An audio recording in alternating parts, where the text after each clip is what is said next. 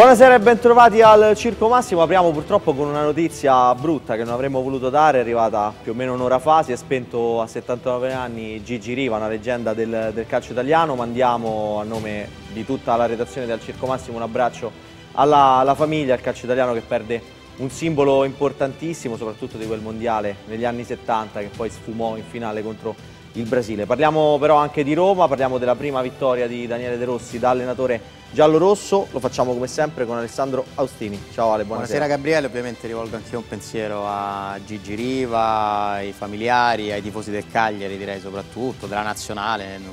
Per motivi anagrafici non ho potuto seguire la sua carriera, però parliamo veramente di, di una delle personalità più importanti direi dello sport italiano, non soltanto del calcio. Il mio hashtag è parole. Secondo me sono cambiate le parole sulla Roma, più che i fatti ancora, perché per i fatti dobbiamo aspettare, ma già sono iniziate a cambiare le parole, avremo modo magari di, di parlarne nel corso della trasmissione. Sono passati due anni e mezzo dall'ultima volta che l'avete visto al Circo Massimo, ma ogni promessa è debito, è tornato a trovarci Matteo De Santis. Ciao Matteo, ciao buonasera. Ciao Gabriele, ciao, buonasera a tutti. Tu hashtag Matteo, hai perso l'abitudine ormai dopo due anni e mezzo. ripartenza. 28 giorni dopo, puoi pure fare. Breve e conciso, come sempre. Ah, mi, mi accodo anch'io comunque al ricordo di Gigi Riva che chiaro, non è una chiaro. leggenda, è qualcosa di più, non solo nel calcio, ma proprio dello sport italiano. È Circo Massimo solo se, solo se c'è Piero Torri. Ciao Piero, buonasera. Buonasera a voi. Il mio hashtag invece è Gigi Riva. Eh, è stato un idolo della mia infanzia, è stato il giocatore che non ha vestito della, eh, la maglia della Roma che ho amato di più è stato il giocatore che ha detto no ai Sabaudi e questo me l'ha reso un eroe romantico, eh, eh, unico, straordinario, il più grande attaccante della storia del calcio italiano, ancora oggi è recordman di, di gol in nazionale, eh, è, è un dolore anche perché è un pezzo della mia gioventù che se ne va. Grazie Piero, ecco noi come sempre un appesantito devo dire, Riccardo Cotumaccio che però no. come sempre ci introduce social e la domanda del giorno e tutte le sue fandonie e nefandezze come sempre. Cotu.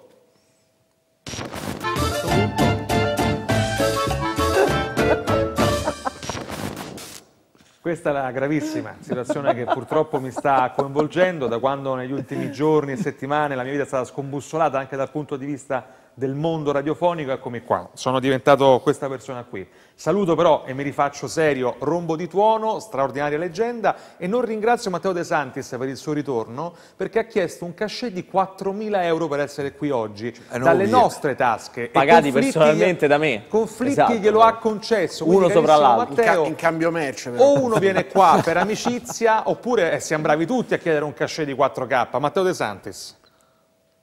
No, 4.000 euro me li dà conflitti in cambio merce, eh, ha già sì, detto. Sì, voglio sì. sapere qual è la merce, esatto. sinceramente. Restiamo nei toni della civiltà. Restiamo nei toni della civiltà e della fascia protetta. I famosi no. pagherò di conflitti. Cioè. Esatto. Ricordo, pagherò per te. Ricordo chiaramente, siamo su Twitch, siamo in diretta chiaramente su Telema 56, siamo anche su Twitter con l'hashtag al Circo Massimo, tra pochissimo i meme della settimana e poi un quiz severissimo per i nostri ospiti. Linea a Gabriele Posso solo immaginarlo. Partiamo dalle siamo parole. Anche su Trez? No, su Trez non ci siamo, non ci piace. Siamo su Trez Quanto ti piace Trez? Perché ti piace Ma non ho ancora capito a che serve. Tu che sei stato tra l'altro un pioniere di, di Twitter all'epoca d'oro in cui Ale House 81. In Italia ce l'avevamo io e il, parente, il, cugino italiano di Zuckerberg. no, che non di, è mai stato Elon Musk, Che non era neanche suo all'epoca, quindi. quindi niente. Però aveva già capito, aveva detto al cugino guarda che c'è eh, potenziale. Esatto. Eh, l'informazione prima di tutto. Sì. Partiamo dalle parole di, di Alessandro. No, le parole nel senso che mi sembra che i messaggi dell'allenatore della Roma rispetto al suo predecessore siano praticamente opposti, cioè la cosa che mi ha colpito di più di, questo, di questa ripartenza, come l'ha definita nel suo hashtag Matteo. Perché siamo passati dall'ascoltare un signore che ci è venuto a raccontare ogni domenica, ogni mercoledì, ogni giovedì che anche la Fiorentina aveva più giocatori della Roma, eh, per, e che quindi la Roma non aveva possibilità di competere per la Champions e che non poteva vincere le partite se usciva di bala, a un altro signore più giovane, più inesperto, magari più romantico, meno navigato, più spontaneo, non lo so, eh, che ha detto che la Roma è una squadra forte e che la Roma anche quando esce di bala deve saper vincere contro il Verona e non e deve stare al nono posto in classifica. Per me questa è una ventata di freschezza e di speranza, mh, perché io quello che ho meno apprezzato probabilmente de dell'epoca Murigno al quale vanno riconosciuti dei meriti assolutamente palesi e sarebbe disonesto non riconoscere i meriti di Mourinho. Quello che ho apprezzato di meno sono proprio le sue parole, perché tante volte mi ha dato l'impressione di esagerare, di esasperare alcuni concetti, pensando a se stesso e non alla Roma.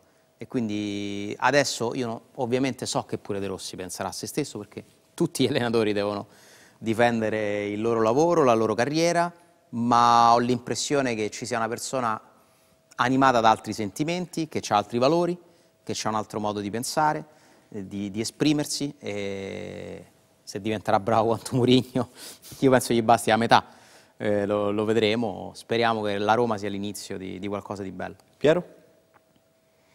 Hai la stessa no, percezione di Alessandro? Beh, su... sul concetto della parola sono abbastanza d'accordo.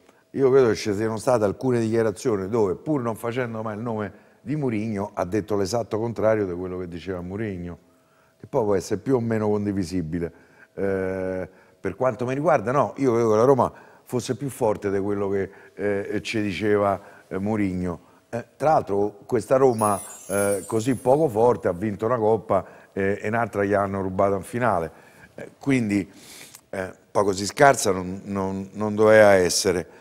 Eh, io, io, il mio auspicio è, con tutto il rispetto per Mourinho che, è entrato nella storia della Roma, che è stato un, uh, un grandissimo allenatore, che ha rappresentato qualche cosa, che ha rappresentato i tifosi della, della Roma, eh, che ha difeso la Roma, io mi auguro per la Roma che prima eh, si dimentica Mourinho, anche se sarà impossibile dimenticarlo, eh, e meglio sarà Parma. Beh, forse dimentica il termine non corretto, magari si considera chiusa quell'esperienza senza metterlo sempre a paragone eh, con chi verrà dopo. ce la porteremo appresso per un che dimenticarlo non puoi dimenticarti allenatore no, no, perché hai. Vinto, è uno degli otto allenatori, se non sbaglio, che ha vinto eh, almeno un trofeo eh, con la Roma.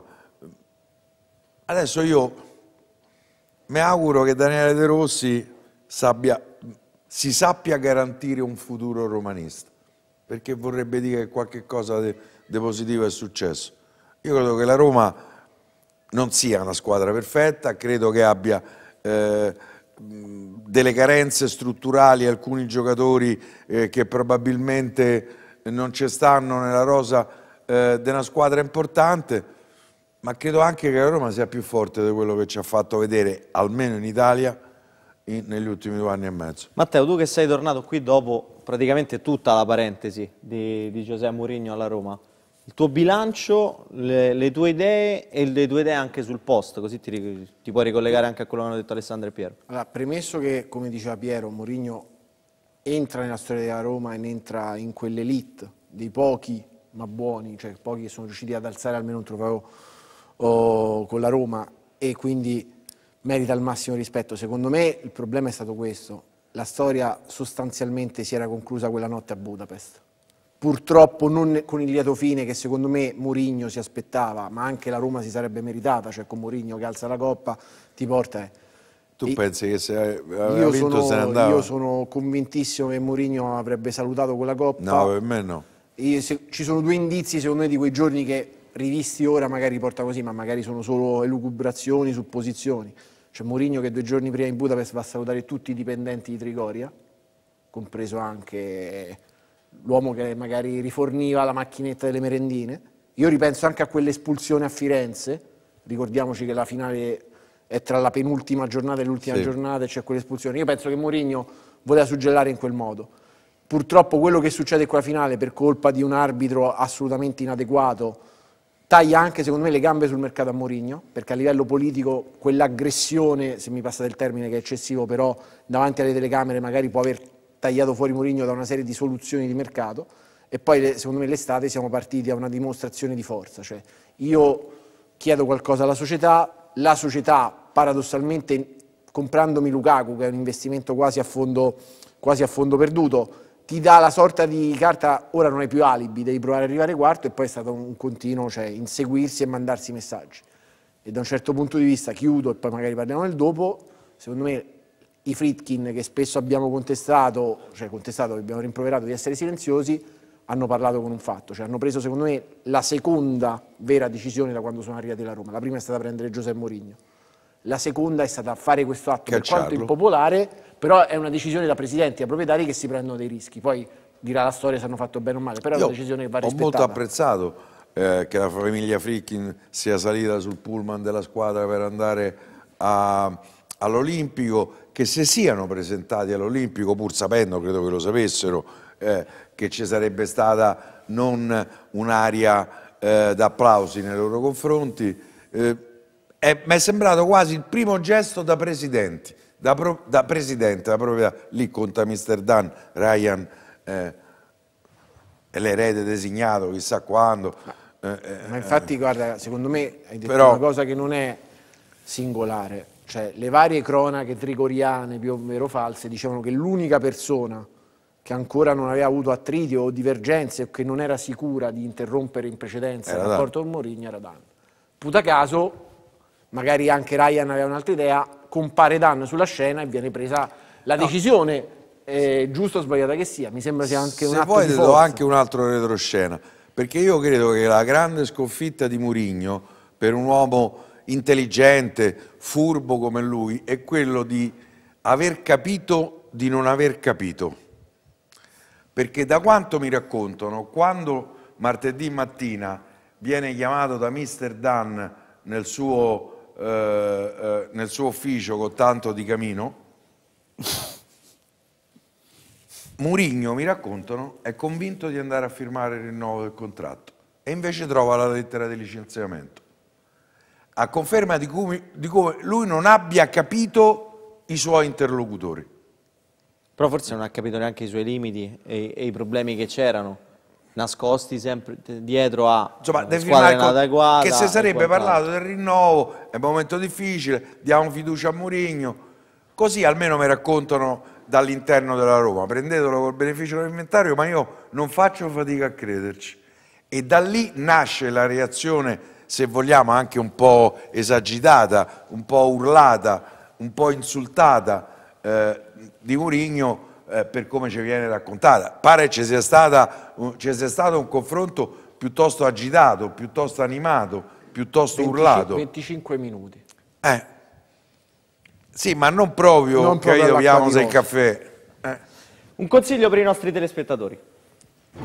Star Ai. la stella dell'intelligenza artificiale a servizio dei prodotti finanziari.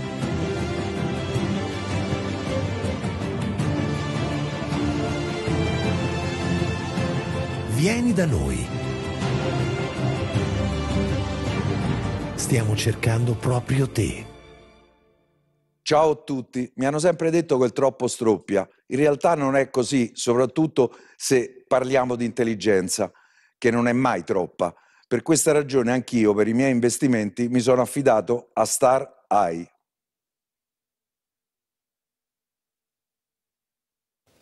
E fate anche voi come Piero Torri. Dicevamo, nel confronto 25 Dan- minuti. confronto Io non Dan so e se Mourinho. addirittura si aspettasse il rinnovo. Mi preoccuperebbe se addirittura lui pensava che l'epilogo sarebbe stato quello opposto. Ma ti do per certo che non si aspettava l'esonero. Assolutamente. No, questa- quello sicuro. Questa è una notizia certa, capito. acclarata, assodata. Sì, sì, tant'è che la squadra è E- stata rimandata a casa. questo secondo me ci dimostra anche la dimensione dell'ego di Mourinho, no? Che secondo me fa parte pure della sua forza, cioè il carisma naturale che ha questo allenatore deriva anche proprio da un ego francamente smisurato, che spesso gli fa perdere un po' il contatto con la realtà. E quindi è stata una decisione molto complicata, quella de- di Friedkin. Io la trovo giusta per, per la condizione in cui la Roma comunque è finita in questi mesi, eh, però è indubbiamente la decisione più difficile che è stata presa da questa proprietà da quando ha, com- ha comprato la Roma, perché è una decisione per certi versi contro il Però popolo serviva pure insegnare. È quasi eh. senza ritorno. quasi senza ritorno contro gran parte del popolo. Serviva un segnale, ma questo non è un segnale, questo è uno squarcio, cioè è veramente chiudere un, un capitolo fondamentale. Murigno ha rappresentato il biglietto da visita di Fritkin. Cioè Murigno è una, di- è una dichiarazione di intenti quando viene preso a sorpresa dal nulla eh, ormai due anni e mezzo fa ed era la garanzia per i tifosi, per molti tifosi, della voglia di ambire a trofei, vittorie, un certo tipo di mercato. E quindi è questo che poi è stato tolto all'improvviso alle nove e mezza di mattina di un martedì. Una settimana che sembrava ormai sì, cioè noi, ci, noi ci siamo salutati qui a una Roma settimana, Verona. non l'abbiamo neanche detto all'inizio della trasmissione, noi ci alziamo da questa sedia con Murigno, allenatore della Roma, sì, la sì, mattina sì, sì. dopo con un tweet, Hanno fregato tutte e comunicato, due così volte, come... sia all'annuncio che Esatto. all'esonero, perché è arrivato Modo anche- martedì. Forse Mol- hanno molto, visto cinico, no? molto cinico no? anche come, come modo di fare, ma io quando si decide, secondo me va sempre bene, nel senso si sbagliano le decisioni, ma l'importante è decidere, fare cose, provarci. Non, non cambiare voleva dire arrendersi a un andamento che ci avrebbe portato, secondo me, all'inevitabile, perché la Roma che abbiamo visto giocare in questo modo, da dopo Budapest, perché ha ragione Matteo, la fine della Roma di Mourinho è Budapest. Per me addirittura inizia prima la fine. La fine, la frattura si crea a novembre del 2022, quando Tiago Pinto fa un'intervista in cui dice che secondo la società la Roma aveva una squadra per attrezzata per andare in Champions. Mourinho risponde a questa intervista prima che esca in edicola, caso più unico che raro. Da là comincia una tensione, cioè un rispondersi, mandarsi Beh, messaggi. c'è stata l'intervista di quest'estate non autorizzata al Corriere dello. Sport. ma, ancora stato- prima c'è stata l'intervista a Paolo. Assogna in cui lui gli chiede se il rinnovo può aspettare giugno, giugno è tardi. Ma Alessandro Poi la foto col giocatore finto che non esiste. Anche a novembre di Budapest, quest'anno. L'arbitro, loro protestano, cioè Mourinho protesta, la Roma sta zitta, poi parla un giorno dopo con Tiago Pinto. Tutta una serie di cose che sembrava che fossero due anime opposte dentro la stessa società. No, ma anche a novembre di quest'anno ricordiamoci che il giorno in cui Tiago Pinto va a fare un intervento al Social Football Summit Sì. all'Olimpico, puta caso lo stesso giorno, Due mesi fa precisi, perché Esatto. era Il giorno 22 prima. 23 gennaio. 22, Mourinho- 26 Il giorno prima fa l'intervista. fa, li- fa l'intervista all'Olimpico, cioè là è stata come una sorta di primarie, mi viene il termine, no? Di primarie in cui ogni candidato espone il suo programma, mentre Tiago Pinto diceva una cosa, Mourinho ne diceva un'altra e là si era aperta la votazione. Ma Netflix si fa uguale o... Penso di sì, sì, sì. Pe- Penso assolutamente sì. Il Perfetto per Netflix. Il punto è... oh, La trama perfetta, Ma- racconterà l'esonero. ma Sei unico si chiamerà. Ma se Guardate, secondo me c'è, un- c'è una cosa... Questa forse è una delle tue migliori battute Sì, di forse sempre. sì. 2024 me lo sono portato a casa con questa. Secondo dai. me c'è una cosa che... Speravo di Mouri No, prima. Bello, questo è bello. Ancora meglio. Sì. co- come te nessuno mu pure, no? Eh, Va, Fili- te no, pure va. piace, hai un gioco di parole da fare. non Beh, ce a posto, grazie. No, no, però cioè, secondo me c'è un aspetto che va mh, considerato degli ultimi giorni, eh, passatemi il termine, del basso impero murignano. Qualche segnale, cioè si è si è- ad esempio dopo il derby, ancora all'accanirsi sul rigore moderno, e ne faccio un'altra. Al- al- all'incirca attorno alla partita di Torino, quella conferenza, la gestione di Dybala il giorno prima, Mancini, cioè ci sono dei segnali, anche il siparietto con Belotti ehm, mentre uscivano da San Siro, no? Se- cioè, in cui Belotti dice no, la squadra è forte, anzi dobbiamo produrre più e Mourinho va là. Paradossalmente negli ultimi anni, leggevo l'altro giorno su un giornale inglese, ora non mi ricordo, che il Mourinho quando preme il pulsante dell'all-in, quando Mourinho va sull'all-in, in un- eh, soprattutto il terzo anno, quasi azzera o quasi cancella anche le cose buone. E secondo me questo è, una cosa che a Trigoria, a Houston, è saltata, è saltata in testa a più di una, eh, di una persona. Ti chiudo solo, chiudo solo con questa cosa. Prima della partita col San Siro, parlando con... La trasmissione senza No, speranza. ormai Sì. ah, ah, beh, ormeggi proprio mollati, Sì, molla- mollati totalmente. Parlando, con, Scusaci, Matteo. parlando, no, parlando con qualcuno della Roma, Chi più è? di qualcuno della Roma, Se vuol dire. no, non si può dire. Se vuol dire. Poi, non si, eh, non si può dire, era... Ma mettiamo che nel Maschio o femmina? Uomo. Uomo. Vabbè. E anche perché femmine, Le femmine sono se poche, stringe... eh, Eh, dicevo, eh, se dovesse succedere che fra qualche settimana magari malauguratamente la Roma dovesse essere fuori dall'Europa League oppure a 10 punti al quarto posto, si può pensare all'esonero di Mourinho a stagione in corso? E la risposta è stata, guarda, tu guardi già troppo in là.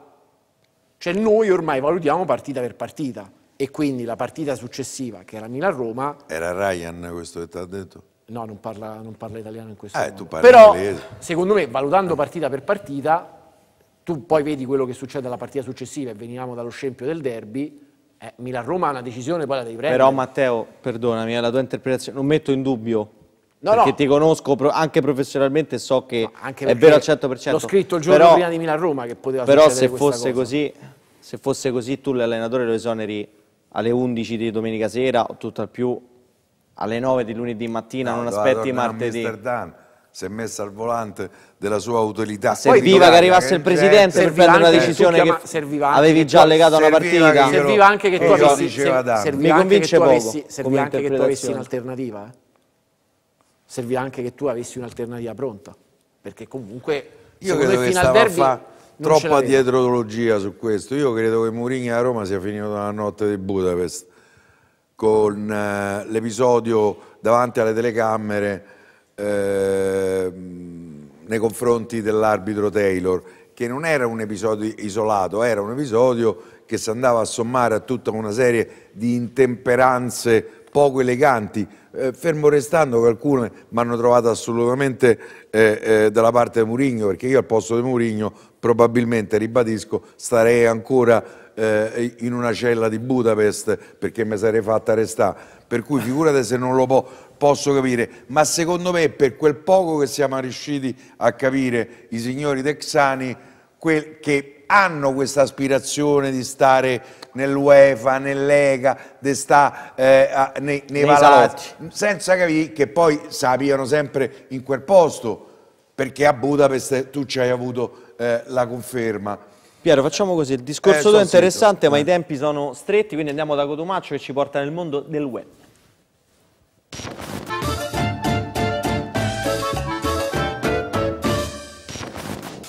Intanto il cachet di Matteo è spaventosamente aumentato durante il primo blocco di altri 2000 euro, situazione insostenibile, dobbiamo parlarne Paga assolutamente con Gabriele Conflitti, il quale sta avallando tutto questo. Firmo, andiamo però firmo. ai meme, cerchiamo di voltare pagina, andiamo quindi a cercare di strapparvi un sorriso, iniziando con eh, le reazioni a caldo per quanto riguarda il match vinto contro il Verona. Eccoci qua al termine della partita che mettiamo la mano su questa fiamma romanista, ma non proviamo nulla né dall'interno né dall'esterno. Qui la citazione è nei confronti del capolavoro Bojack Horseman che Piero ha visto tre volte. Piero, un commento rapido su Bojack. No, ti piacerebbe secondo me Bojack Horseman?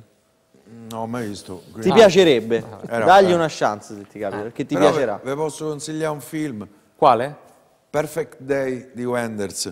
Secondo me è un film è uno straordinario film sulla solitudine. Wim Wenders, assolutamente. Lui. In sala in questi giorni, ottimo consiglio di Piero, ma attenzione, io che vedo la Roma fare passaggi verticali, ed eccoci qua, noi sorpresi. Questa è la maxi storia di come la mia vita è cambiata. Il principe di Bel Air, Will Smith, De Rossi che mette la difesa a 4, io che lo dicevo da sei mesi. Eh, metti, fammi vedere un'idea, José, non mi hai ascoltato, ha dovuto fare Danielino. Eh, vabbè, ci siamo capiti. eh. Quello è Piero, chiaramente, quello che indica, indica in questo caso eh, Daniele De Rossi. Poi eh, ci siamo, ragazzi, siamo dei trasformisti anche noi. Lo era Giolitti, lo siamo anche noi. Ecco, non è conflitti, è Giolitti, il trasformista, grande ex politico del nostro paese. José Mourinho, la la la la la la. E dall'altra parte Daniele De Rossi e. Oh, Cosa mi fa ridere Giolitti col cappellino del Separtito? Sì, sì, è, è un capolavoro. Pazzesco. Ma Azita, tutto nei minimi particolari effettivamente. Qua invece citiamo il The Dark Knight Rises di Christopher Nolan, Mourinho con 10.000 panchine tra i professionisti e arriva De Rossi con il potere dell'amicizia. In realtà noi gli auguriamo, senti Austini come sa ride, eh? lo sento qua in campo corto, qua alla mia destra, ma attenzione, voltiamo pagina, c'è un mix, una crasi tra De Rossi e Mourinho. De Russi non esiste, non può farti del male. Tra l'altro io ho letto De Russi automaticamente, che è insomma un noto hotel al centro, non ha bisogno della nostra pubblicità, ma insomma il De Russi e questo è il mix. In realtà è semplicemente un De Russi. Alessandro sta ridendo sotto i baffi in una maniera incredibile oggi, quindi Sono ottimi geniali. Meme azzeccati. L'ultimo di stasera riguarda invece la nostra quotidianità, come noi viviamo i trasporti pubblici. E allora eccoci qua, autobus curva a sinistra, passeggero medio. Perché ho chiuso con Bove? Perché veramente ci sta rappresentando con la sua qualità e la sua passione. Ti auguriamo una lunga carriera, se possibile, in giallo-rosso. Linea a voi. Grazie Cotu, noi ci fermiamo, torniamo tra poco dopo la pausa.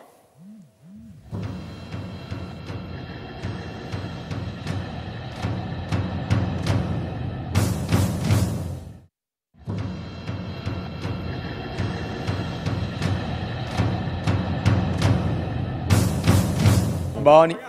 Eccoci qua, Austini che pratica calma e dice Boni, la dice lunga sul fatto che questa trasmissione ormai ha perso completamente ogni freno inibitorio. Piero Torri. Sì? Questo è tipo a scuola quando ti beccavano che eri distratto. No Piero, ti ho interrotto prima, Spesso. prima Cioè, sì. Quando Prima ci andavi?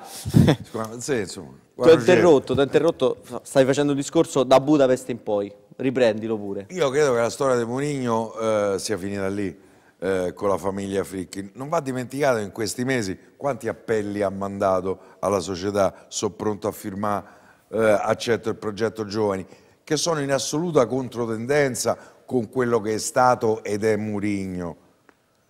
Eh, il fatto che non ti rispondono, è lì secondo me lui non ha capito ed è questa la sua grande sconfitta per uno che invece, no, vi ricordate qua la pubblicità, c'era il sole, lui usciva, apriva ombrello, arrivava l'acqua. Eh, e stavolta Piero- ha aperto ombrello e invece è rimasto il Piero, sole. fo- forse, forse aveva capito. No, Forse secondo, ave- forse- secondo me no. Secondo me invece forse magari aveva capito e ha forzato Lui era la macchina convinto che sulla forza del, eh, dell'emotività popolare, del consenso popolare, Quello perché senza lui dubbio. eh, alla fine non avrebbe... E secondo me loro lo fanno adesso perché ci stanno Verona, Salernitana e, e Cagliari, infatti- cioè tre partite... E Al che- Shabab. La- Eh? Al E Al. Che è la, il kebab? No, eh, eh, vabbè, quella... eh, eh, No, per- però se la lettura è giusta e secondo me c'è anche un'altra lettura. Secondo me paradossalmente loro hanno valutato l'eventuale exploit di Mourinho in Europa League magari può creare, visto che noi non lo vogliamo rinnovare, più danni interni ambientali rispetto a quello che può essere il beneficio della vittoria. Perché io questa idea ce l'ho, che loro abbiano valutato questo. Cioè Mourinho per altri sei mesi all'interno della No, Roma... Matteo, io sono molto più terra terra. Eh. Secondo me Murigno a Mister Dan gli era andato sulle scatole e dico scatole perché sto in televisione. Ci sta. Non lo poteva più vedere. Poi la sera di Questo Budapest è. secondo me succedono Eh, anche cioè, un paio di eh. altre cose che da una parte e dall'altra, cioè i Fritkin che non vanno a salutare la squadra dopo la partita, la scena di Mourinho, nessun dirigente che si fa vedere dopo. Io penso Anche anche un dirigente che parla dopo cioè, lì, Lina su Logo stava vedendo la premiazione davanti alla sala stampa in una zona con i televisori. Eh, ma mi ricordo anche, anche quest'altra scena, cioè quando a Tirana va giustamente Dan Fritkin, là viene mandato Ryan e Mourinho, vi ricordate anche in maniera sprezzante, eh, diciamo con il cerimoniale della UEFA, in cui va là, si leva... Secondo me tutto quello, per chi, come dicevi te giustamente, Eh. vuole entrare nel gota del calcio, vuole avere un- buoni rapporti con il Paris Saint Germain, con l'ECA e tutto il resto, secondo me quello ha pesato molto. Per il Saint Germain abbiamo preso solo sole, spero che hanno capito. Eh no, secondo me questo... Siamo l'unico club al mondo che gli ha dato i soldi. Vabbè, gli sta marità a quelli che ci hanno dato per Marchignos, che Pastore, 25 zucchine, e Wijnaldum gli ha pagato un anno di contratto e avevamo visto in piscina, in campo no. Renato Sanchez gli hanno dato estremunzione Piero, qua. Piero, Eh, poi il fatto, cioè, che- il fatto di dove è andato oh, Wijnaldum... a- non- Paredes, Le- Lemiro che ha dato i soldi a tutti, da Roma ha presi. Ma pe- pensa, se È una questo- follia se ci pensi. pensa, se questo era, se questo era Renato Sanchez io quasi mi sarei tenuto per un altro anno Wijnaldum, se devo fare un È prestito. andato Poi- pure lui in Arabia. no, Esatto, non poi sta cosa è- Però se tu ci pensi eh, era questo. Però io penso anche, poi guardiamolo anche dal punto di vista di Mourinho, secondo me quella scena, da un punto di vista nostro può essere giusta, eh, quella secondo me ti taglia fuori una serie, una fetta di mercato importantissima. Ma Perché- dal suo punto di vista dici? ma sì, cioè in Inghilterra chi ti prende dopo che tu attacchi due arbitri inglesi? Perché c'è il quarto uomo Ah, in inglese. Inghilterra ha fatto Chelsea, Manchester United. Piero, però se lo dovessi Eh, chiamare già. è una fetta di mercato importante a livello internazionale, dopo quella Gli è scena. rimasto il Newcastle forse. Eh, cioè- Che ce vai? Eh? Te a Newcastle non Ci sei mai stato a Newcastle? Sì, ci sono passato. Non so no, se eh. c'è Lo, lo stadio sta sulla collina degli impiccati. Sì. Poi è la stesso l'altro lo concetto applica Da Bergamo in su. Dortmund. Eh, Colonia, Colonia. Francoforte, Sì, sì, Ma Leverkusen. Leverku- Però, Basilea. Cioè, a Dortmund per fare un passo, stadio sempre pieno. Hai visto Dortmund? Quando c'è la partita c'hanno qualcosa da fare. Eh. Andiamo. Come Leverkusen, no? Sì. Là mondo- i Il mondo sopra il Po. Ma secondo me il Po è già Ma troppo già a Chelsea alto. Lungarno League. secondo me a lui Chelsea, fastidio. non so da quanti anni i tifosi con Shakhtar 04 fanno sold out. e te credo, cioè, Gelsenkirchen... O vanno in miniera o vanno allo Ma stadio. Firenze allora. ti piace? O Eh? è troppo a nord? Firenze ti piace? No, Firenze la trovo una città bellissima, meravigliosa. Secondo me, Piero, da sopra Bologna in poi, No, dai no, colli no, no. bolognesi in poi No. è- sono è- lollacchioni. Non è vero. Eh, Venezia, per dite, è una città meravigliosa, Trieste è una città meravigliosa, Mantova è una città bellissima. Milano ti piace meno? Sì, però Milano mh, è una città organizzata. È, è vero che è in quartiere di Roma, perché poi bisogna pure tenere conto quando si fanno i giudizi.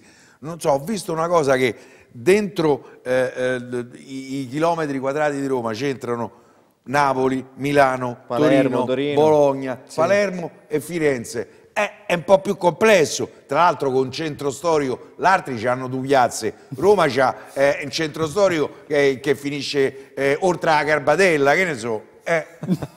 Vabbè, Piero, grazie per questa L'urbanista. esatto. L'urbanista Piero. No, no, io non voglio assolvere i vari sindaci, le varie eh, giunte che si sono succedute in questi anni. No, non entriamo, perché non entriamo Roma è stata maltrattata, però Roma è complicata da, da, Poi anche enorme. da amministrare. Poi anche noi, certo. Lo sai qual è il noi. secondo comune italiano per estensione? A livello di chilometri? Taranto, pensa. Questa, Questa solo è la chicca, Matteo, questa Sono possa- 25 forse chilometri, manca sono abitante 25 del Marco a una Taranto sanno sta cosa. Sono 25 Ti km. posso dire che ci sono stato non- forse un paio d'anni fa. a geografia ho lanciato. Eh, Taranto No, è, un è una tema città così. bellissima, certo. Peccato Taranto Vecchia è cosa. splendida. È meraviglioso. Lo sai che si comprano gli appartamenti a un euro a Taranto Vecchio, a patto che tu li ristrutturi. Ma ci Devo sono... fare investimento, Piero? Ma lo sai che Io ci l'euro sono ce l'ho. anche uno dei musei greci più belli Però. Taranto non è proprio dietro l'angolo Roma. Io sai. l'euro ce l'ho, poi la Poi ristrutturazione- l'euro pure io ci arrivo. eh, cioè. Il problema poi è però- la ristrutturazione. Vabbè, dai, torniamo su- sulla Roma. Alessandro, hai detto che sono cambiate le parole nella Roma. L'impressione è che siano Le parole dell'allenatore della Roma. anche le parole sulla Roma che stanno arrivando in questo momento. In particolar modo faccio riferimento alla proprietà. Forse per la prima volta viene messa veramente nel, nel mirino e forse per la decisione più legittima che ha preso tra le tante. Sì, infatti di- riflettevo nei giorni scorsi pare che io lo faccia apposta, ma mi ritrovo quasi sempre in queste dicotomie nella parte della minoranza. Cioè io penso davvero che la scelta più giusta che sia stata fatta, forse giusta, esagerata, più coraggiosa, e a me il coraggio piace sempre nella vita da parte di tutti, sia la scelta più impopolare poi che c'è stata però di Fritkin. E devo dirti che allo stadio, tutto sommato, rispetto a quello che mi aspettavo, non c'è stata sta grossa contestazione comunque. eh. Uno striscione, i volantini messi qua e là, ma Sono le contestazioni altre sono ben Anche altre. gli striscioni però a Murigno che sono stati tanti, Ma sono quelli sono comunque striscioni per Mourinho. per la proprietà transitiva. Ma sono anche Sì, però, quelli- però ti posso dire, io quelli li ho trovati Sono stati comunque- anche di buon gusto. Cioè, no, sì, eh, li ho trovati sì. comunque Giusti, cioè, giusto- spontanei, un giusto tributo. sentiti. Cioè, me- lì ho visto il In cuore rima. della gente Quasi tutti in rima. quasi tutti in rima, il cuore della gente che ha voluto salutare un personaggio che è stato comunque importante e ha scritto una pagina indelebile di storia della Roma. Non sono quelli la contestazione, però è vero che il clima attorno alla proprietà è cambiato, perché Mourinho era anche un grosso ombrello che copriva tutto quello che c'è sotto. E sotto non è che funzioni tutto nella Roma, eh? Perché si è fatto molta poca ricerca in questi mesi, in questi anni, di che cosa veramente si è fatto, non si è fatto, i problemi. Cioè, la Roma ha già cambiato quanti? Tre amministratori delegati? Sì. Eh, quello è indicativo, eh? Quanti direttori commerciali? Un paio? No, no, credo pure, Pure lì di sono più. tre. E quello attuale, insomma, non è saldissimo. No, non è per niente I conti saldo. della Roma? No, c'è stata pure una diaspora di persone che noi magari non conosciamo dal punto di vista mediatico, ma che hanno via via abbandonato Guarda, tra secondo Stoi e Trigoria. aspetto, eh, Sì. da cosa nasce, diciamo, il disse- cioè da cosa nasce il contrasto tra, contrasto poi, tra la proprietà e Mourinho? Dal famoso settlement agreement. La storia che viene fuori è che il settlement agreement è stato fatto, cioè i Fritkin dicono all'amministratore delegato dell'epoca, il dottor Berardi, fa il settlement agreement e pare che non ci sia stato neanche un confronto con il settore tecnico della Roma. Cioè, È il una settore- delle cose che ha pagato Berardi. e il settore tecnico della Roma, quando si è ritrovato a, a leggere cosa è composto il settlement agreement, si è messo le mani nei capelli. Sì, però scusate. Cioè, e questo fa ca- è una stortura. Sì, ho capito, ma il settlement agreement non riguarda il settore tecnico della Roma. Cioè, continua Riguarda- a esserci sì, no, questa riguarda- idea riguarda- che prima Pallotta, adesso Fritkin ha deciso di scendere a patti con la UEFA. Non è che tu lo decidi, o lo fai o stai fuori. Cioè le regole non le detta la società. Sì, è un accordo, ok? E quell'accordo vincola sì, la tua società. Ma è un poi- accordo che viene fatto perché tu hai sforato determinati limiti. L'alternativa di non fare l'accordo è che ti cacciano. La Roma può permettersi di essere cacciata dalle coppe? Direi Ah, di no. no. Quindi non è che, che- puoi andare da Pinto No. o dall'allenatore o dal capo scout, che ne pensi? Come... Cioè quella è una roba di avvocati. Però A meno che, Matteo? Ale- Alessandro, secondo me sui numeri, sulle cose, magari ti confronti col capo dell'area Eh, tecnica. però anche se perché se poi, lo aspettavano, secondo me si aspettavano una cosa però, impossibile. ah, il vero punto è tu ti ritrovi poi stretto dalla morsa del settlement agreement e di un allenatore che è completamente l'opposto di Poi questo. la non- gente ormai fa fatica a capire, Perché è molto vero- difficile per la gente. la- Cioè, a me la cosa che mi fa più ridere di tutte è che viene accusata questa proprietà di non spendere i soldi, no? Nove- Perché? 850 Perché la Roma non può comprare giocatori pagando il cartellino sostanzialmente, ma questa è la proprietà che ha speso più soldi nella storia della Roma. Secondo me male una buona parte. Semmai dovremmo discutere come l'ha spesi, ma dire che questi sono, non lo so, taccagni, cioè è dire esattamente il contrario della realtà, perché stiamo parlando di una società che ha coperto delle perdite mostruose con i propri soldi E continua tuttora. e continua tuttora. Il problema è, ma com'è possibile che la società che spende più soldi di sempre Non abbia non può comprare i giocatori che compra il Frosinone come cartellini? C'è O la il segnale di un errore clamoroso di strategie. Perché se- è come se tu, non lo so, paghi in affitto di una casa 20.000 euro al mese e non ci puoi entrare. Quasi, no? E quindi è- è- è- per il tifoso, vaglielo a spiegare come funziona, i debiti, il settlement agreement. Cioè, il tifoso è spiazzato, fatica a capire quello che sta succedendo. Poi non compri giocatori, ma prendi in prestito Lukaku. Non, compri, non spendi per i cartellini, prendi di bala a parametro zero. Cioè è tutto un po' a casaccio. E la prossima Cioè non scadenza- vedo una linea, un'idea, un progetto. E la prossima scadenza, secondo me, è cruciale perché la Roma il prossimo 30 giugno, secondo quello che è nel settlement agreement, deve fare dai 60 ai 65 milioni tra plusvale- normale, è plus- plusvalenze, quindi non cessioni, aspetta, o eventuali revenue UEFA. Cosa vuol dire revenue della UEFA? Ricavi che te no, conteggiano. no, no, i ricavi inteso anche in caso, cioè il passaggio, i premi per il passaggio del turno. Se la Roma dovesse arrivare in Ah, finale, Ma C'è comunque compresi quelli del girone di questi quest'anno. qua, que- Ok. questi qua, se la Roma va in finale quest'anno, arriva intorno ai 20. Perché quella parte di ricavi tu non la puoi calcolare Certo. prima. Cioè nel tuo Certo, budget tu certo. non puoi sapere Chiaro. Quindi, se arrivi in se semifinale. dovesse andare- A se- budget di solito metti il primo Esatto. turno al massimo. Se dovesse andare bene, come ci auguriamo tutti, cioè la Roma arriva fino a Dublino, e poi là ci divertiamo a Dublino, comunque la Roma fa, arriva intorno ai Tornerebbe arriva intorno ai 40 20. milioni. No, arriva intorno ai 20, poi ne devi mettere altri 40 e non sono 40 da cessioni, ma di plusvalenze. Che è un'altra voce che non puoi che è prevedere un'altra prima. voce e, tra virgolette, io penso, chi, quali sono i giocatori su cui la Roma può fare plusvalenze, ma in maniera ipotetica? Bove, Zaleschi, Pellegrini. Pellegrini, forse Cristano, non lo so. Forse Ebram, forse. Ma Forse- Ebram, io però a pe- capisci? Ah, forse è, beh, chi gioca centravanti e estertrano? Velo- Belotti lo vuole dare via adesso. Asmun è tuo, Lukaku non è tuo. Asmun è l'unico Vabbè, Dai poi- via pure Ebram. Sì, ma al 30 giugno si chiude una storia, Però- poi ne inizia un'altra in cui non è che poi ti è impedito spendere, ma tu devi rispettare determinati limiti entro quella data, no? Esatto, Come sappiamo sì. bene. O se no vai- Quindi fai- in teoria tu multa. sei costretto a un certo punto, se lo vuoi fare, a cedere dei giocatori. Cioè ritorniamo alla normalità per me. Perché se tu decidi che la squadra ti costa tot, poi arriva quel momento che devi riparare a questo costo, se vuoi rispettare le regole. Se non le vuoi rispettare, non giochi le coppe. Molto semplice, dici a me non me ne frega niente di, di rispettare questi limiti, ho i soldi da- per coprire le perdite, non faccio nessun settlement agreement, faccio come mi pare. Sei fuori dalle coppe. Ci e vi ricordo che c'è via. comunque un fair play anche italiano. Perché non è che pure in Italia puoi fare come ti pare, eh. L'indice di liquidità. Guarda ora di ad esempio liquidità la e tutta Lazio un'altra serie di cose. Che ora non può cioè, fare. le società, quello che non si capisce è che sono obbligate a fare certe cose. Per me è folle che la Roma si sia ritrovata a perdere 200 milioni l'anno. Ma ragazzi, 200 milioni di perdita, ma sono una cifra mostruosa. 200 più 200 circa, un po' meno la- due anni fa, Quanto ha perso la Roma in quattro bilanci? È una roba Più di 500. Più di 500 più di milioni. 500 ragazzi, ma bruciati proprio. tantissimo. E quindi, ma troppo bravi sono stati a poter prendere poi dei giocatori come Dybala, Lukaku e tutti gli altri, secondo me. Ma sto gioco prima o poi finisce, perché non, non- non gli stai più dietro. Tutto questo, però, eh, io capisco che sia di difficile comprensione, è una responsabilità, però secondo me è chiara dei Fritkin, che hanno scelto all'inizio della loro avventura di non cedere i giocatori ai quali i tifosi sono più affezionati, che sono però quelli che inevitabilmente ti fanno realizzare le plusvalenze.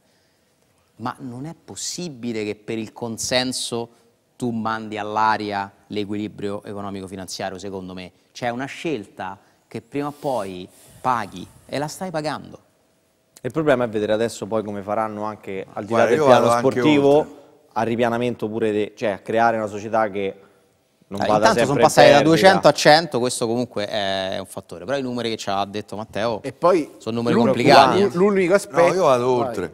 Eh, la Roma è da rifà, signori. Peraltro. Io sono dell'opinione, famo se squalifica un anno. Eh, secondo me questa non è un'idea sbagliata, cioè poi per carità. No, ti aggiungo un altro Se arrivo dato. settimo e devo fare la conference, Esatto. già ce Ma l'ho ti aggiungo magari un altro conference. dato. Da Perché quello che- un'altra la vinceresti? Ah, beh, per Eh. carità, però, però, magari per un anno, no, così poi riparti. No, c'è un altro dato che secondo me può agevolare un eventuale Sì, però scusate, cioè se non, giocate le- se non giochi le coppe, non c'hai i ricavi. Ah, Però c'è un da- eh, Alessandro, secondo me c'è, c'è un discorso, guarda quello che ha Non fatto te basta neanche. cioè, non Però so. guarda che ha fatto il Milan dopo i cinesi. Cioè, non è che poi ti riammettono, cioè ti riammettono se ti ripresenti in una certa condizione. La Roma che perde 100 milioni l'anno non può, non può andare avanti, Pe- non pe- te lo puoi permettere. Però Alessandro, secondo Non me le una- regole te lo impediscono. C'è un aspetto che secondo me dobbiamo valutare nell'eventuale rifondazione a giugno, a prescindere poi da chi sarà il direttore sportivo. Vedendo io il monte stipendi da Roma, che è il terzo della serie italiana, c'è un dato, ci sono una serie di giocatori a scadenza e una serie di, diritti, di, scusate, di giocatori in prestito. follia è qui. Con solo, Ma la Roma ci può avere il terzo esatto, monte stipendi della Serie A? Con solo l'unico giocatore, la? Roma, No. l'unico giocatore di cui la Roma ha un diritto è Azmoun a 12 milioni. Tutti gli altri non c'è neanche... eh, eh, Christensen chi se ne frega. eh. però sì, non c'è neanche l'ombra del diritto, ti sto dicendo. Se tutti gioca- questi giocatori dovessero andare a scadenza e non rinnovi, il monte ingaggi da Roma scende intorno ai 60 milioni lordi. Intanto sta per segnare l'Inter. No, vabbè. Scende intorno ai 60 milioni lordi. Quindi puoi ripianificare anche un monte ingaggi, no? Un monte ingaggi un pochino più virtuoso rispetto a quello attuale. Poi ovviamente devi essere bravo a prendere i giocatori che paghi di meno, devi fare tutta una serie di lavori che sotto l'ombrello Mourinho in questi anni non hai voluto barra non hai potuto fare. Perché poi non è colpa di Mourinho. Puoi questo. ricominciare con un altro tipo di Puoi calcio. ricominciare con un altro progetto, però ci, ci vorrebbe una chiarezza di intenti in cui dici signori, Prima devi decidere bravo sul mercato. Prima devi decidere che vuoi fare, poi decidi chi può fare questo che questo gol dell'Inter intanto, al 91esimo. Eh, strano, succede Lautaro. mai. Segnano mai al 90. Ci ho pensato mentre dicevi sta per segnare l'Inter, ho detto ecco, eh, appena scatta il mi- erano da 90 5 minuti che erano lì. segnano, sì, No, Napoli in secondo me 10, eh. ritorniamo paradossalmente alla situazione che si prospettò eh, ne- che era estate del 2019, cioè quella diciamo dopo l'addio di De Rossi da, da calciatore, in cui la Roma doveva fare la spending review e si prospettavano un monte ingaggi a 70 milioni e poi ci fu il rilancio di Pallotta con Mkhitaryan, Smalling, eh, tutto quello. E poi era una cosa che tutti gli anni si diceva si deve rifare e poi la Roma non la faceva. E paradossalmente ora sta in quella situazione. Poi vediamo sta se... raccogliendo i frutti negativi di, que- di quella hai rimandato cattiva questo- hai gestione riman- là, hai rimandato- hai rimandato anni per anno. Abbastanza folle. Abbiamo il quiz in questo momento? Sì, go to quiz, vai, vai. Ebbene sì, eccolo qua. Sì, sì, ero piuttosto annoiato dall'ennesima vittoria di culoncino Inzaghi anche stavolta al novantesimo. Vabbè, comunque ci rifacciamo, ci tingiamo di giallorosso. Oggi il nostro Matteo ha la responsabilità di mantenere intatta la vetta della classifica. Nel frattempo il signor Gabriele Conflitti invece deve cercare di Però ho fatto arrampicarsi. uno scattino, l'ho Stai fatto. recupero. eh. Sì, L'ho piano fatto, piano sta recuperando. Mi vengo a riprendere. Oh, devo dire, stasera quiz a tema De Rossi e quindi parto con la prima domanda per il nostro Alessandro Ostini che riguarda per l'appunto eh, l'attuale tecnico della eh, Sento Roma. il fiato Sì. sul collo di Piero, eh? a meno uno.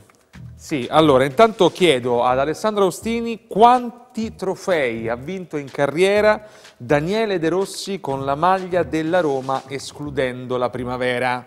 Ok. Ti do le opzioni, l'opzione A 1, l'opzione B 2, l'opzione E è 3, l'opzione X è 4. Secondo me ha vinto- ne ha vinti, non è ancora la mia risposta ufficiale, eh. Sì. credo che ne abbia vinti tre, Sì. Perché non credo che fosse ancora nella prima squadra della Roma quando vince la Supercoppa post scudetto, mentre vince sicuramente i tre trofei con, con Spalletti, quelli dai tre.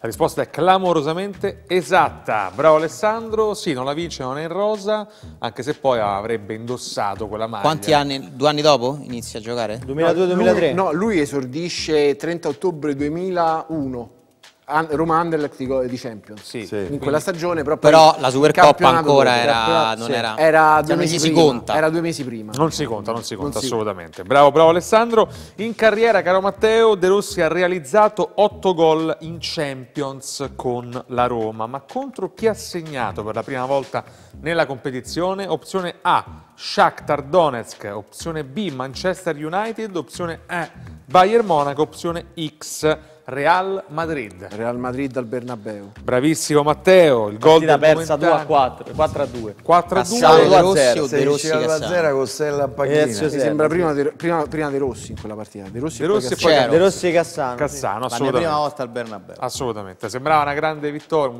ci fosse una grande vittoria. Invece. Sella in panchina. Ezio Sella in panchina. Caro Piero, carissimo Piero Torri, Vede le risposte sul video. eh, per adesso la regia sta verificando se confermarle o meno eh, per una questione etica. Sì. Allora, con quale, numero, con quale numero di maglia, carissimo Piero, esordì in Serie A Daniele De Rossi? Incredibile, Piero non la sa, incredibile. Ti do quattro opzioni però. Opzione A 26, opzione B 27, opzione E 16, opzione X 4. Piero. X4. No, no Piero. No, Eh, eh, ma come? È capitato al futuro? non te ri- 27. 27. 26. No, col 4 esordì De Rossi. No, oh, segnò 27. pure con l'Inter.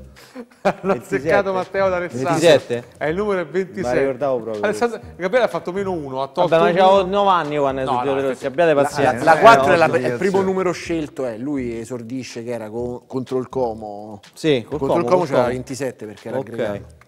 E qual è la squadra, carissimo Gabriele, contro cui Daniele De Rossi ha realizzato più gol in carriera? Opzione A, Chievo. Ragazzi, Gabriele c'ha uno sguardo che definire agonistico è poco, eh? che definirlo intriso di odio è più difficile, poco. Sì, vabbè, ma certo. Opzione, sì, chiaramente. Opzione A, Chievo. Opzione B, Inter.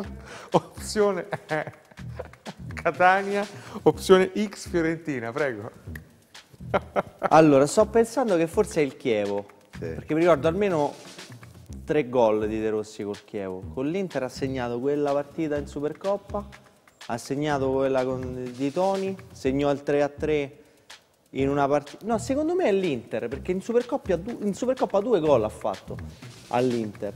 Uno fece un tiro clamoroso Ah, dai, 2 eh, Un attimo, eh, fammi no, pensare. eh, Eh, dai, ma dai, voi ci avete, eh, come eh, si eh, chiama eh, De eh, Rossi? già quanti peli da Barbacià? c'ha- c'ha ragione Eh, pure lui, però, eh. Un attimo. C'ha ragione pure questo, ragionare, eh. Secondo me è l'Inter. Ha segnato più gol all'Inter. E in extremis Gabriele Azzecca perché ne ha segnati ben 6 all'Inter, 6 gol Bravo, all'Inter, non contro il Chievo.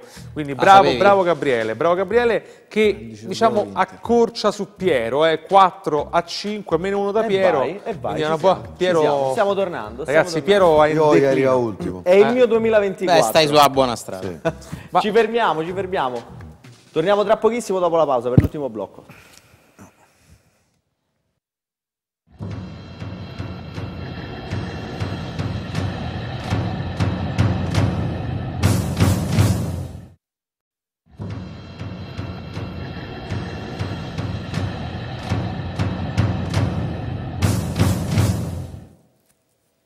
Eccoci qua con l'ultimo blocco del Circo Massimo. Parliamo un po' della partita, perché abbiamo parlato di tutto ciò che ha anticipato, chiaramente, come era logico che fosse la partita. Poi c'è stata Roma-Verona.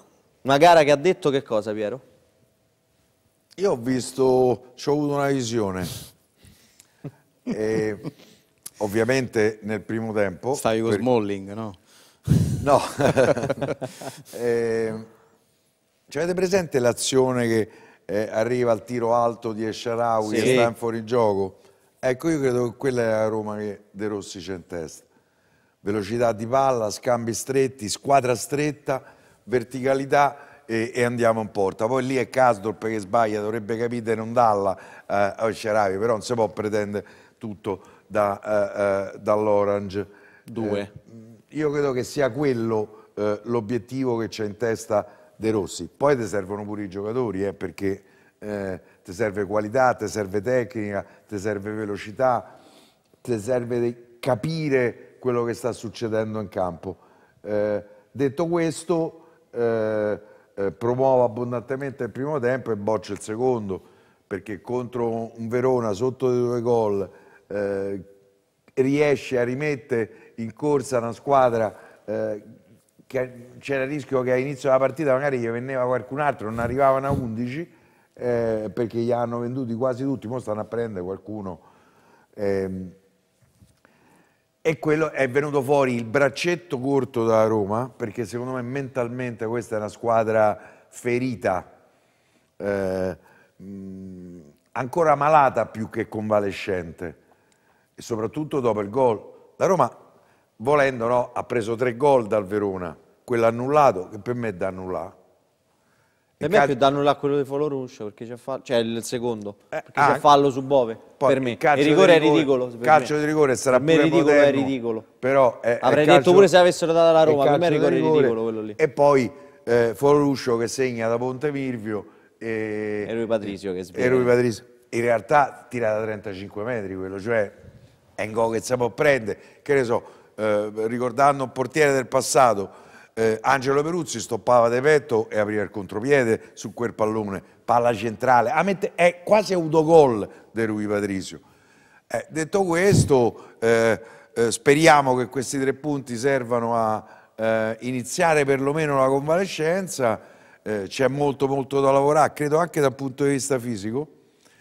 De Rossi l'ha detto nel dopo partita, abbiamo forse caricato troppo, io durante la stagione c'è poco da caricare, forse la Roma potrà fare un minimo di carico nella settimana di sosta della nazionale, che non mi ricordo quando è a marzo. 22 marzo. Fine marzo. Pensate, Piero, 20, 24. Piero preparatore atletico, mi mancava Però come versione. parecchi ti vanno via con i nazionali. Eh.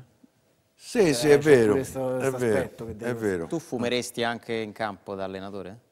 Sì, sì, mi fai, fai, mi fai la multa, io fumo. Eh, cioè, Ah, durante le Ah, partite? Alessandro, Durante le poi, partite. Alessandro poi Matteo, sto all'aria aperta. oh. su come avete visto Ma, la Roma di De Rossi. mh, Poi vi do credo che sia stato abbastanza chiaro no? quello che è successo, l'ha già riassunto Poi perfettamente è una Roma Piero. obbligata quella, de- o quasi, eh. Sì, mh, è vero che si è intravisto qualcosa, eh, un'idea nuova.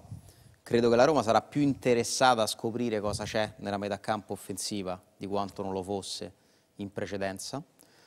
Eh, è cambiato il modulo, comunque la, la- la linea 4 è già un'indicazione, un marchio di fabbrica.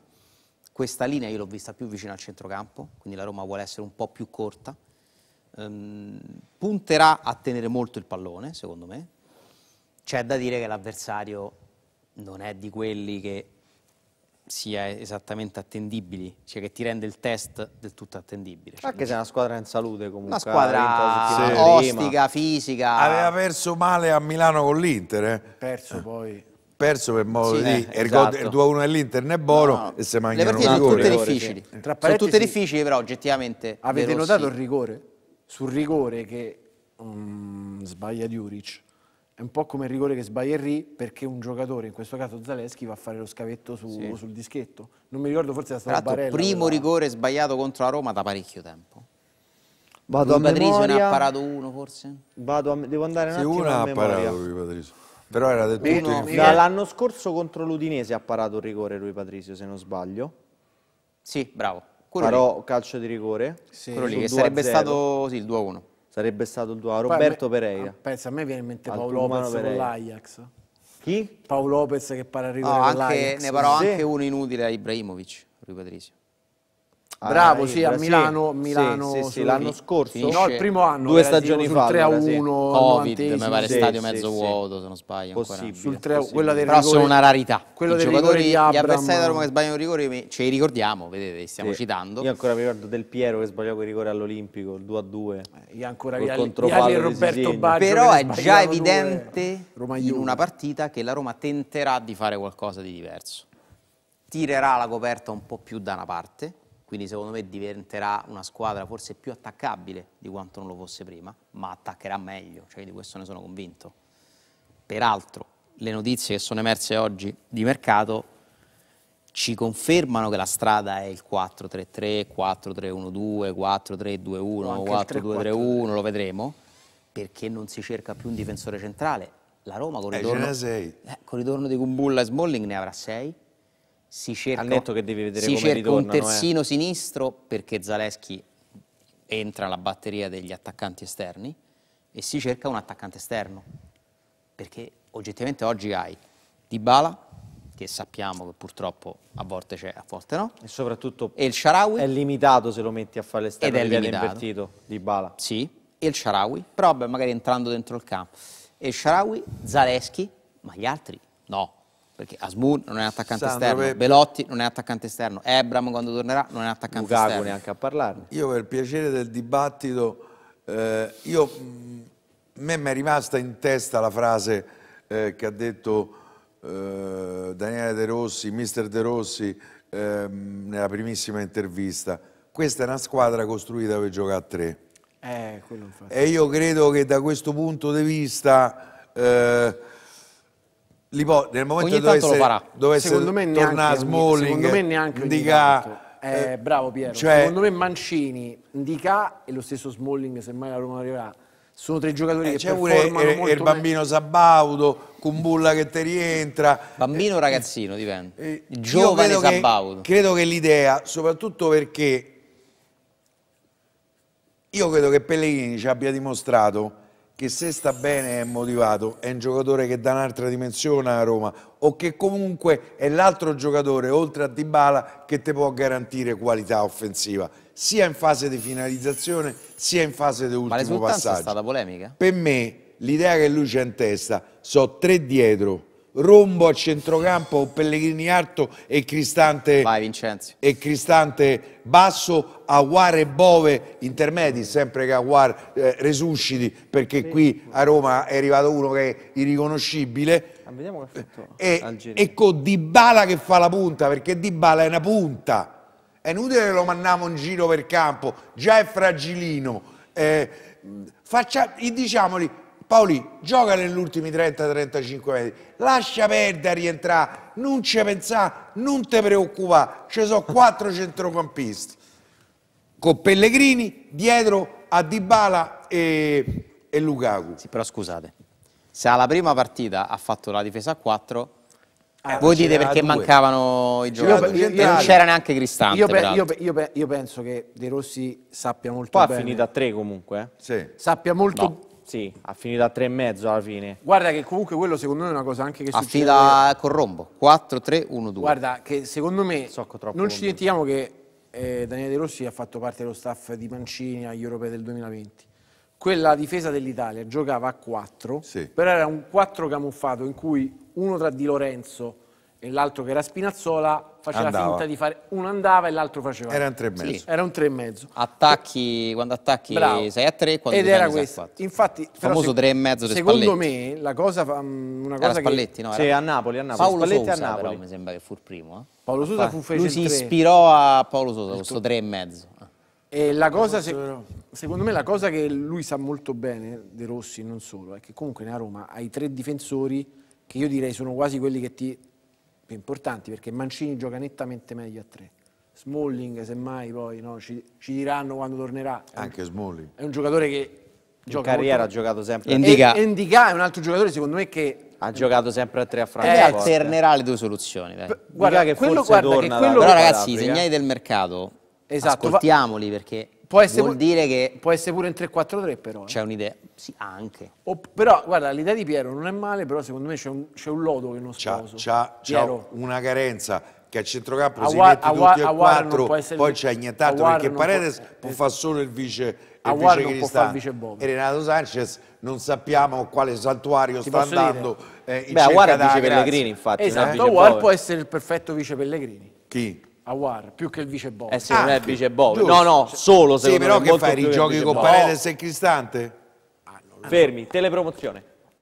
Eccoci qua, eccoci qua. Vi do un dato. Dei Dacelo. 37 gol che ha segnato la Roma, ne ha segnati 12, togliendo la, part- la partita contro il Verona, quindi 35, ne ha segnati 12 tra i primi 20 minuti, diciamo 15-20 minuti, E e, quindi? 15 dal 90 cioè dall'ottantesimo in poi, con una grande C'è una concentrazione fascia di mezzo 85 di niente, dici quindi. Esatto.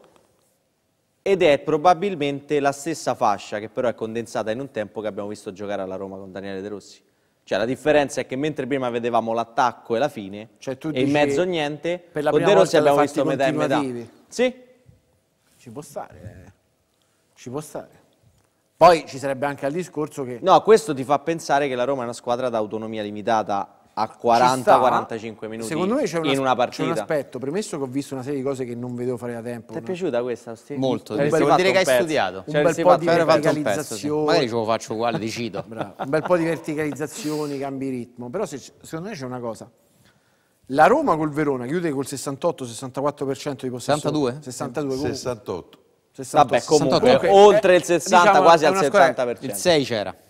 La cosa che anche nelle ultime partite di Mourinho era che la Roma aveva sempre il possesso a San Siro la Roma ha nettamente il possesso del pallone rispetto che quasi era un problema come ho sentito una volta dire a Piero cioè quasi il problema della Roma la Roma era una squadra Che non sapeva cosa fa col pallone. o gli altri piedi. intanto ti diamo la palla e poi ci pensiamo ecco mi è sembrato che magari questa volta magari sfruttando anche quel, quel poco che puoi fare da Paredes io non ho questa grande stima del Paredes attuale cioè secondo me è un giocatore che Io può performare. Ecco. No, può performare secondo me solo in, certe circostanze. Performare. Eh sì, ormai si parla così. Ehm, Ormai non si mangia più, si vivono delle esperienze. si vivono delle esperienze, non si lavora, si fatica, eh, no, ci sono un sacco di, eh, di- di problemi. Ehm, dicevo, eh, che ridi dei conflitti? Ci stanno più i menù, ci stanno i percorsi. Ci sono i percorsi, le esperienze sensu- eh, Sensoriali, sensuali. sensoriali. No, Pietro, eh, t'ho svegliato. Dicevo no, Sai, per- Matteo torna Sì, dopo torna. l'esonero dei Rossi. 2024. Allora, speriamo mai, 26 no, speriamo mai. Però pe- penso che per la prima volta cioè, la Roma abbia fatto questo passaggio. Cioè, prima ti lasciavano il pallone e quasi non sapevi che fare. Invece per la prima volta ho visto un Paredes, ho visto una Roma che aveva uno spartito da un po' di tempo. E non era solo il tipico attacco di foga, ci buttiamo tutti dentro, pallata per la bestia Lukaku, eh, Paolo, pensaci tu. Questo secondo me, poi vediamo, speriamo che nelle prossime partite, che non sono per niente facili, perché occhio, la Salernitana sarà incavolatissima dopo la partita di ieri. Il Se ca- gioca a strategia, Eh, Salernitana. e tra parentesi, nelle ultime due settimane, quelli che erano i piani B di Sabatini per la panchina salernitana sono andati via perché Sì, De Rossi e lo stesso Nicola che va all'Empoli. Sì. Il Cagliari, che comunque eh, ha eh, perso a Frosinone e ha il Torino venerdì, che è una partita che comunque conta, e poi sarà anche la partita, penso, dell'omaggio a Gigi Riva, quindi ci sarà... Penso di sì. Eh, insomma, pe- Beh, sì. No, però saranno due- paradossalmente il Verona di tutte queste avversarie era quella che ti lasciava un po' più giocare perché era quasi una squadra che ti, Veneto. che ti va a muso a muso. Secondo me il Cagliari si arroccherà, la Salernitana vediamo, cioè sono anche curioso di vedere se la Roma manterrà questo spartito con i prossimi- contro i prossimi due avversari. Si sfidano Alessandro. due campioni del mondo? Si sfidano due campioni del mondo. Inzaghi di Rossi. Inzaghi Inzaghi De De Rossi. Rossi, sì. Del Inzaghi 2006. fece pure un gol nel 2006 quando l'ha trovata a Barone e tutti noi Manco eravamo morto, convinti De non gli Rossi, darà mai. De. Rossi segna invece il rigore. Sì, E poi- Eh beh, anche E perché poi gioca praticamente una partita e, E mezza poi dopo quel mondiale. De Rossi incontra l'ultimo allenatore che ha avuto al giocatore alla Roma, Ranieri al Cagliari. Tutta una serie di incroci di, di Amarcord. E poi, lì- e poi c'è l'Inter. E ha giocato la prima partita come il secondo Spalletti Esatto. con Verona. Però l'ha vinta Spalletti la pareggiò 1-1. In una squadra in cui ha anche rischiato di andare. Rui Patricio ha provato a imitare Castan, però la Roma ha segnato. E poi, e poi dopo, c'è aveva Simone- e dopo c'è l'Inter di Simone Ha Inzaghi. rischiato di andare. Quindi Eh, due fratelli Inzaghi se li fa subito. Esatto, così. si fa i due fratelli Inzaghi nel giro di due settimane perché poi dopo il Cagliari C'hai due partite in casa, sì. E vediamo se De Rossi tra i- gli allenatori de- di quei campioni del Feyenoord mondo arriva dopo l'Inter? farà una Dopo carriera l'Inter. Diversa dagli altri. E a cavallo del Feyenoord c'è il Frosinone, quindi c'è Di Francesco. Un altro Perché, compagno di... Scusa, tra quelli che hanno vinto il mondiale 2006 sono diventati allenatori Gattuso, Gilardino. Grosso, Gilardino, Grosso, Grosso, Gilardino, De Rossi, Cannavaro, Inzaghi, Pirlo. Pirlo, Cannavaro Pirlo sta a fare Nesta. bene a casa Andori. Nesta, bravo.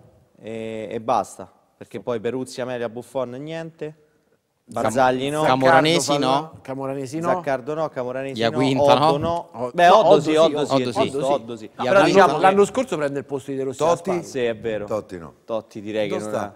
Del Piero, no? Totti, in Dove Cina, in Cina? Deve andare in Cina. No, non era oggi in Arabia per le cose della, No, della credo che andrà in Cina no. prossimamente. Eh, c'era stato recentemente. Però diciamo che di tutti quelli che abbiamo citato, quello che ha fatto un po' più di carriera a oggi è Gattuso. Sì. Perché gli altri, cioè Inzaghi... Mi sembra bravo Giardino. Sì, sì, per ora sì, però... A me- deve Guarda, ti posso stato. dire, forse paradossalmente se lasci stare l'ultimo periodo a Lione, è grosso. Comunque Ah, una Grosso ha promozione. fatto una Serie B a Frosinone, vincendo Però- la Serie B a Frosinone una- Però scorso. fa la promozione. Sì, Sì, prima non era stato un successo grosso. Aveva fatto Beh, bene con la Verona, primavera no? della Juve. Aveva Ah, è una generazione, la è una primavera generazione che ha un po' faticato a fare Eh no, sì. il cambio. no? Guarda, anche lo stesso Nesta, ma credo che molti di questi... Però quelli di Italia 90 invece quanti fanno fatto allenare? Oddio, non tantissimi. Non tantissimi. 90. Giannini, mm, Poco. Vialli ha fatto al Chelsea, e Carnevale fa il direttore Vabbè, Mancini? C'era? Baggio no. C'era Mancini in Sì, Italia 90, sì. Anche se non giocava. Baggio non fa l'allenatore, Pagli- no, Zenga l'ha fatto, sì. Bergomi non l'ha fatto, Ferrara c'era Italia 90. Bergomi ci ha provato però. ci ha provato. Ferrara Però, ci ha provato Guarda, la vera cosa che secondo Sì. me può differenziare, cioè molti di questi allenatori, forse il passaggio più difficile è valutare i giocatori che hanno a disposizione il calcio eh, non facendosi ai parametri che avevano i giocatori. E ti spiego, una cosa che mi hanno detto su Nesta, che ora non sta neanche facendo male alla No, Reggiana, la Reggiana non sta andando male. era all'epoca del Perugia, cioè lui valutava i giocatori, cioè valutava i In difensori, base ai suoi parametri. cioè dice no, questo non ha la ripartenza, non è come Stam, non è come Cannavaro, che Eh, lo so. te lo offrono al Perugia in Serie B, qualcuno è. E molti di questi ancora fanno questo errore. Sì. Paradossalmente Gattuso è uno di quelli che per primo ha iniziato facendo anche parecchie gavette perché era stato che era in Svizzera, era stato in Grecia, Sì. esonerato al Hanno Palermo. cacciato, Palermo. hanno cacciato da, parecchie parti Gattuso. A Pisa aveva fatto bene lui. A Pisa in una situazione poi sì, disastrata, squadra però aveva fatto bene. E poi è arrivato il Napoli, prima il Milan, poi il Napoli, vince la Coppa Italia a Napoli e poi, Poi sì, è andato via un po' male con... con De Laurentiis, sì. Vabbè, adesso sta a Marsiglia comunque. Sì, no, però eh, questa è una Onestissima carriera. Sì, una- Una, sì, una carriera onesta, però senza grossi picchi. No. Cioè, oggi è la Coppa Italia vinta quasi dimenticata perché era all'Olimpico vuoto causa Covid, il picco più alto della carriera di, Di di Gattuso. Gattuso, insomma, voglio dire. Gli altri si stanno Una- costruendo. una Inzaghi panchina- una mi sembra uno che si è assestato su una bassa Serie A, un'alta Serie B. Però sono ancora tutti giovani come Venezia, allenatori, eh. bene C'è da dire, sono tutti giovani a come allenatori. ha fatto bene a Benevento. Cannavaro ha fatto bene, bene, comunque è stato in Cina, poi al primo approccio in Italia a Benevento non, ha- non è andato bene. Però è Cannavaro, stato calato secondo me non come mai Daniele l'anno bene scorso Cannavaro. in una situazione Ah, no, disastrata, di società Cina, disastrata. mezzo di che cavalletti. Chi mezzo ai cavalletti? Tra l'altro sta, credo, nel club più ricco. Eh, quello se di non lì, sbaglio. la Chioccia di Eh, Rippi. Eh, lì, lì non è in banca di Ah, prova, sì. in un senso e nell'altro. Se non sbaglio. Cioè, Era Però la perse la finale, o è arrivato in finale di... Finale Coppa d'Asia? Champions League. Pensa a una vacanza in Cina con Piero. Secondo me sarebbe divertente, Cina, sì. invece. Pure io penso secondo che sia bellissimo. Beh, Cina adesso è un paese stupendo, assolutamente. Prospettive per Salernitana-Roma, considerando settore ospiti chiuso, stadio... Eh, ma lo de- stadio non succede niente alla Serenità. Però Piero, devo immaginare che se non è stato squalificato hanno l'Olimpico tirato alla il Lazio... seccio in campo. Sì, però è Solo? stato che deve individuato... succedere? Pure ormai però- si punta a individuare i responsabili. e Giustamente, posso dire? tutti. È come... Si può dire che è giusto? Chi ha fatto quei cori vergognosi a Megnon è già stato individuato, insomma. Uno. Eh, uno è stato individuato. Non credo e che era uno. No, però intanto uno è stato trovato, c'è poi un video che insomma si sente abbastanza chiaramente questo rivolgere. Partita secondo me più difficile di quanto non dica la classifica. Ah. La Salernitana ha venduto cara- carissima la pelle in quasi tutte le partite. Sì, ne forse- ha perse quasi tutte, Forse ma ieri era la peggiore a livello Sì. di rendimento, perché col Napoli, con la Juve perde ma secondo gioca. me è complessa. la- in mezzo c'è una trasferta commerciale più che sportiva in Arabia. Per fortuna, per, per avere in posticipo a lunedì la Roma ha dovuto andare in Arabia, mi viene da dire, a- Eh sì, è vero. per giocare una partita di lunedì. E sarà un- un banco di prova secondo me sale il livello rispetto a Roma-Verona. Mm, vincere non sarebbe per niente banale come Però io passaggio. sulla Salernitana ho idea che la partita di ieri un po' di botta psicologica gliel'ha data. Cioè gli ha un po' tagliato le gambe. Perché perdi una partita Questo così. Però stanno ancora Eh, lì. però se non fai mai punti, ragazzi. Però stanno ancora lì, eh. Però, stanno ancora lì. Eh, però si eh. allontanano, eh, le altre si allontanano. Sì, Ieri però non te la regalano. Perdi lo scontro diretto, No, il perso ha il vinto. ha vinto solo l'Empoli là sotto, ha perso l'Udinese, ha perso il Cagliari. No, ha vinto il Frosinone. Che Ha vinto- stava- Frosinone Sì, che il stava Frosinone, più eh. allungato, sì. rischiava... Eh, ho capito, però eh, No, cioè, la, se tu la È Salernitana... vero che quelli non hanno vinto, ma manco loro No, hanno vediamo se niente, arriverà quindi- Boateng, perché la Salernitana pare che abbia mezzo preso Jerome Boateng, solo che per l'indice di liquidità deve uscire un giocatore probabilmente... Cioè, poi... Eh, non gli costa niente, sta svincolato. No, però dico, è un, un giocatore che magari te lo ritrovi contro, insomma, perché delle squadre di Walter Sabatini, magari lunedì c'è una squadra che ne sai che Sì, domenica ce ne sì, sono sì, sì. tra Altre 80 due. cessioni, no? si diceva pure che Andrea potesse tornare alla Lazio, poi insomma c'è, questa incognita. Secondo me è una partita difficile in un ambiente che si farà sentire contro una squadra che comunque, come diceva prima Alessandro, da quando c'è stato il cambio in società a livello di prestazione ha sempre dato il meglio, ha sempre venduto carissima pelle. Qualcuno dice anche una cosa, lo sai, su, perché- Qualcuno lì. Lo, sa- lo sapete perché la Roma va a fare questa amichevole? Perché sembrava che nell'accordo iniziale della Lega di Serie A, una delle due squadre, mh, una delle due squadre che sarebbero uscite in semifinali, dovevamo fare un'amichevole a Riyadh con una squadra araba. Paradossalmente, per Il derby, c'è stato rischio. No, no, magari la Lazio o, il- o la Fiorentina devono fare un'amichevole con una, con una squadra araba, faceva parte dell'accordo della Supercoppa. Diciamo Hanno che hanno, eh, c'era la Roma e si è inserita la cosa della Roma. E quindi per questo la Roma c'aveva ritorna- da contratto. Esatto, però credo che nel pacchetto tutto... e per Forse è la tempistica che mi fa per pensare questo- che Credo che ce ne abbia Matteo due, per questo la Roma, credo che diciamo, vi facciamo questo favore, tra virgolette, e quindi noi giochiamo lunedì. Bene, andiamo da Cotumaccio che ci, dà, ci avvia verso la buonanotte. Che uomo interessante.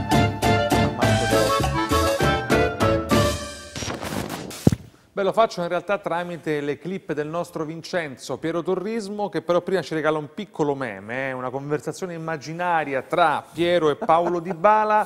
A Paoli, non rientra, eh, eh, lascia perdere, stai là davanti, eh, per cui eh, ci siamo capiti, A non aggiungo nient'altro. Eh sì, sì, sì. Concentrato. Sì. Molto concentrato, però clip del nostro Vincenzo. Nella Roma non c'è nessuno che capisce di calcio. In un'azienda che eh, eh, il suo core business ce l'ha in un pallone da buttare nel cantuccio eh, eh, di una porta, e io credo che questa sia una carenza eh, clamorosa. È come se io eh, dovessi vendere il prosciutto e non so eh, com- eh, e so vegetariano. Nel calcio serve gente che profuma pallone, che profuma calcio. Nella Roma non c'è. Nel calcio serve gente che profuma pallone. Non ci sono innocenti. Una sola componente eh, è innocente e sono i tifosi. Che gli vuoi dire? Questi hanno riempito lo stadio. Domenica sarà pieno lo stadio. Certo. Col Verona di pizza e fighi. Piero, ripartiamo.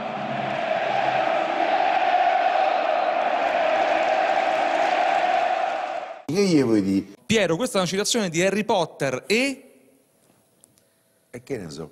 E che ne so? Se tu potessi colpire Gabriele con un Wingardium Leviosa o una Vada Kedavra, quale utilizzeresti? Una vada che dà che mi piace di più. Seccato. C'ha quasi un, un so che d'erotico.